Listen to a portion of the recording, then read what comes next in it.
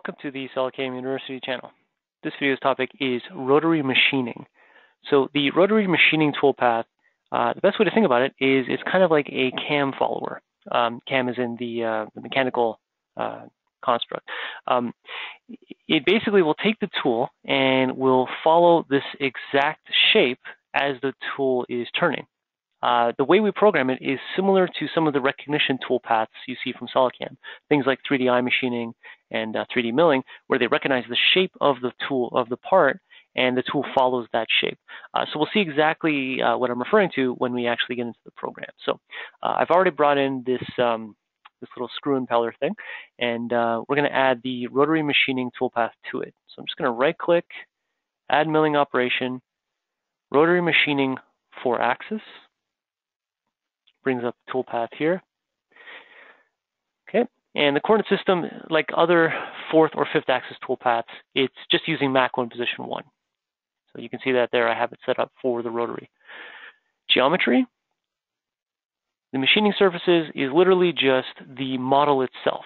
So again, like any other solid-based toolpath, target-based toolpath from SolidCAM, all we're going to do is just choose the solid itself, and that is the geometry.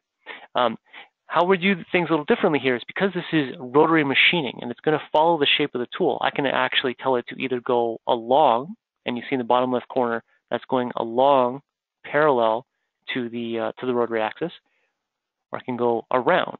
And again, if we see those red toolpaths there, that's going around the rotary axis. That'll actually spin the axis as the tool is machining.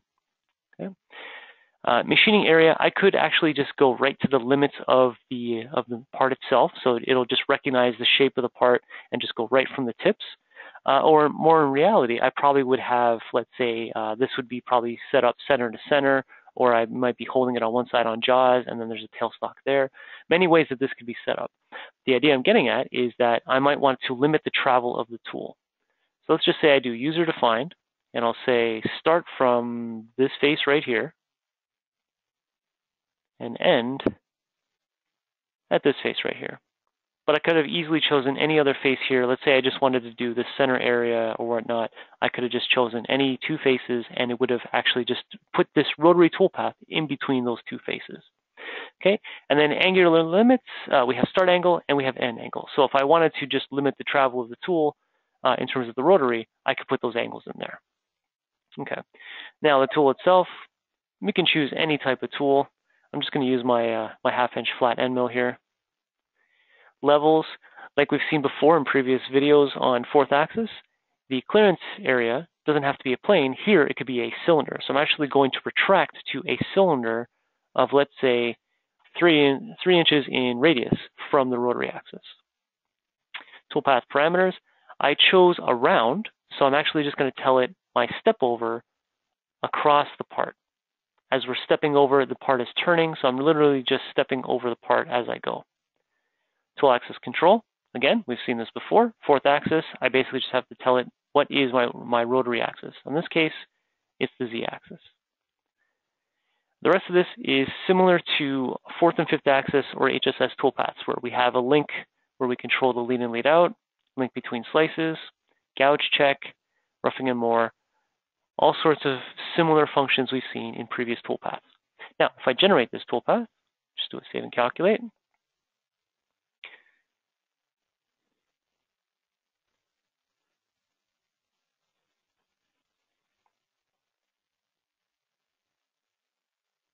Okay, and there we go. So I put in a step over of 50 thou, and it steps along the part 50 thou, starting at the red sphere, and it steps over across the entire part.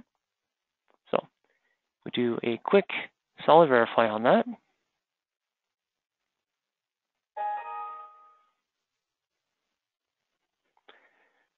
Now, as always, solid verify is just showing the tool moving, but in reality, it would be the rotary that's moving. You can see as that goes across, it actually is machining the functions.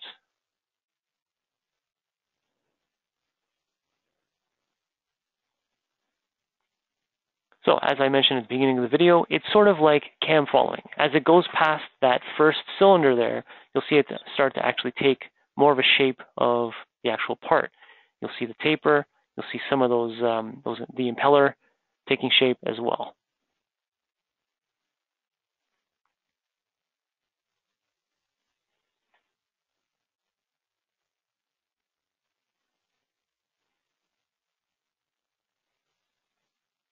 Okay, and I'm going to stop it.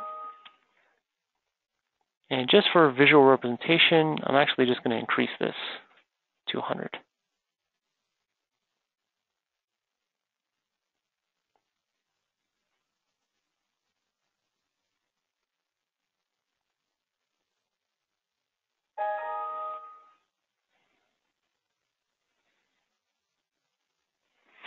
As you can see, it takes everything. So if that tool could dip into the keyway, it does.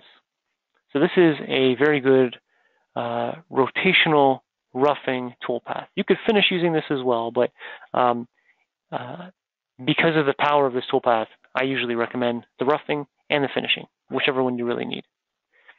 So I'll let this just take shape.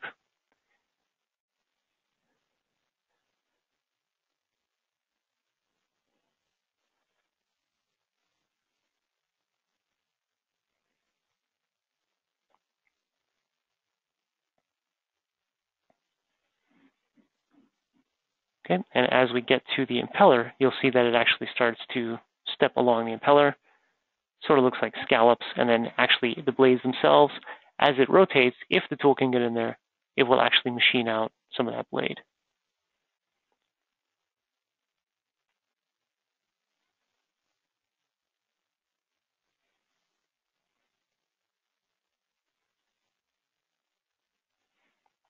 Okay, so that is the around function. Now I actually have another part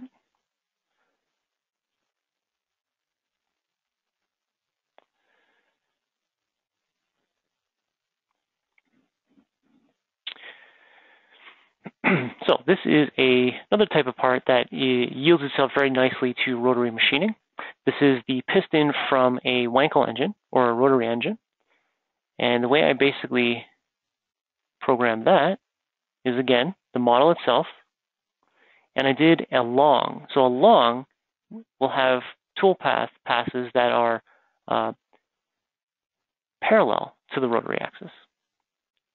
Okay, and let's just go to toolpath. So as on a long rotary machining toolpath, I don't have a step over. What I have is just a step angle. So I've told it to increment by one, uh, one degree with each pass. And if we take a look at that, essentially with each pass, it zigzags back and forth to machine the surface. As you can see also, it takes the shape of the little cavity right there. So the previous part was around, this one is along. So as a rotary, you have both those functions there. So I have one final part.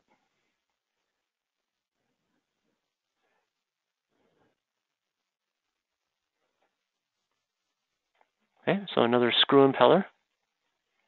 And I'm going to simulate that in Machine Sim.